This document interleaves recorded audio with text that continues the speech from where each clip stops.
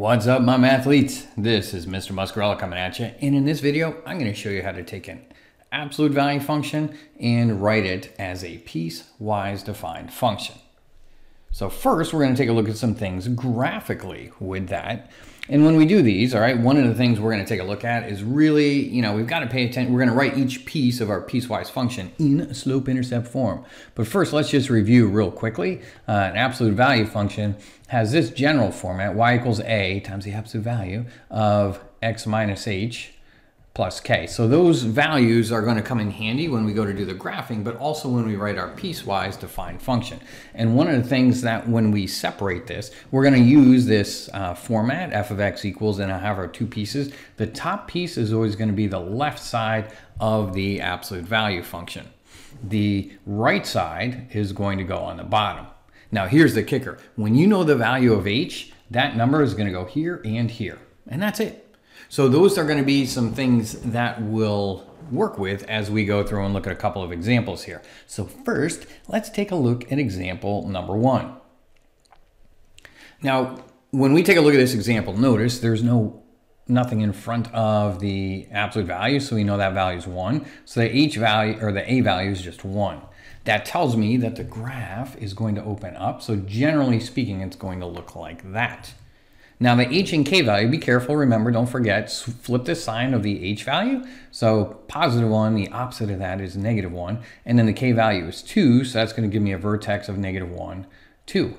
So I'm going to go over to my graph, go over to negative 1, up to, put a nice little dot right there, and that's where my uh, vertex is going to be. Now, also, I know that my h value is negative 1, so I can already write this in those two pieces right there. Now let's graph this. So when we go to graph it, I know my A value is one. So I'm gonna have two slopes. One's gonna be positive one, one's gonna be negative one. So on the right-hand side, we're gonna go up one, over one, up one, over one. We're just gonna plot those dots as far as we can on that side. Now, because an absolute value graph is symmetrical, we'll use the same movement pattern on the other side. So we're gonna go up one, but to the left one, up one, left one, up one, left one, and up one, left one. And then I would go ahead and connect the dots, draw a nice straight line so it looks like a V and not a U because a U would be a parabola and that is not what we're graphing here. So we've got our V, we've got our absolute value function graphed right there. Now this is pretty cool because uh, I've got my graph and I'm going to take a look and see if I can figure out a couple of pieces. Now I'm going to draw the axis of symmetry right down here and just kind of use that as a dividing line. So of course this is going to be the right side and this is going to be the left side. And in between our uh, negative one was where everything was divided, where my axis of symmetry was. So on the left hand side, there's going to be a couple things I want us to notice. One is going to be what's the slope of the left hand side. So some people write it kind of underneath it, they'll just write m equals. And if I look there, my slope is going to be negative 1. On the right-hand side, so if I start at any point and go to the next point to the right of it, I'm going to determine that my slope on the right-hand side is going to be negative 1, or positive 1. So my slopes are going to be opposite on each side. The left side and the right side are going to have opposite slopes. Now what that kind of leads me to is part of my absolute value function being changed into a piecewise. So on the left-hand side, the left goes on top, remember? So I'm gonna have negative 1x or just negative x for the slope. And the right-hand side is gonna be positive 1x or just x. So those are gonna be a couple things that we can tell right off the bat from just pulling the slopes. Now I wanna call your attention to the right-hand side first because that one's super easy. I can just look at the graph and determine what the y-intercept is because I can look at it and it's right there. And I can see that the y-intercept here is at the point zero three. So that's my b value because remember, we're writing each part in this y equals mx plus b in that point or in the slope intercept form. So my y-intercept is 3 for the right-hand side. And I actually wrote down left, so let me fix that. So that's going to go down here. So that's the equation for the, the piecewise function on the right-hand side.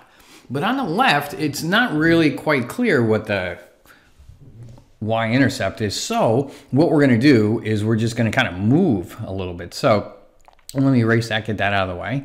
And we're going to just kind of continue that movement pattern. And if I start here at the vertex and go down one to the right one, I actually land right on the y-intercept. I land on a lattice point, which is so cool because I can tell the coordinates of that point right there are 0, 1.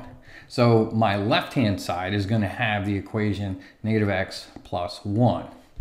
So that I can actually tell from the graph, just looking at the graph, I can come up with that piecewise function. So this would be my final answer right here for writing that piecewise function as um, from the absolute value function, y equals the absolute value of x plus 1 plus 2.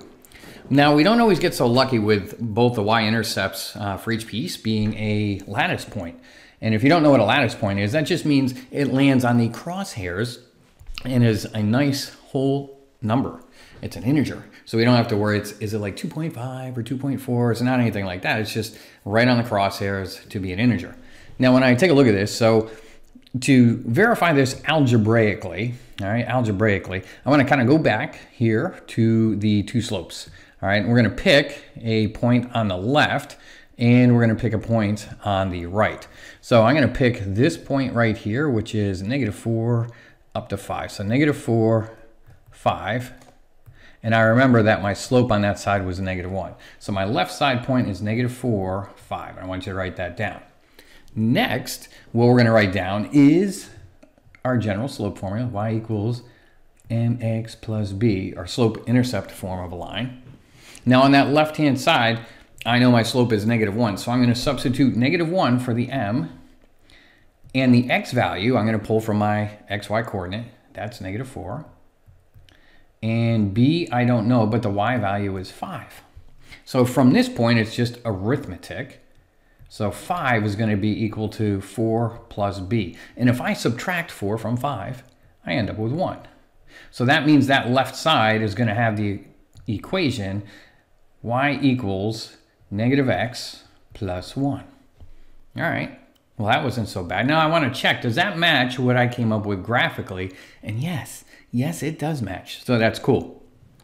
Now, for the right-hand side, and I don't know why it didn't copy, but there's an S right there. Okay, so the right side point, that piece is going to also, I'm going to pick some point on the right-hand side. And I'm going to pick this guy right over here, which is what, 2 and 5. Okay, so 2, 5 is going to be my XY point for that.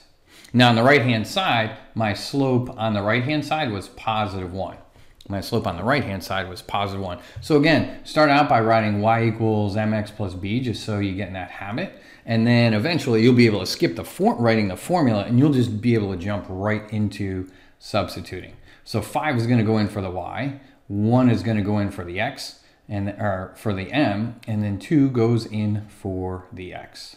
When I clean this up uh, with my arithmetic, I'll get 5 equals 2 plus b. And you, when, that, when you subtract, you'll get 3 for the value of b, which then tells me that my equation for the right-hand side would be y equals 1x, or just x, plus 3. And again, does that match what was going on up there? You bet it does on the right-hand side.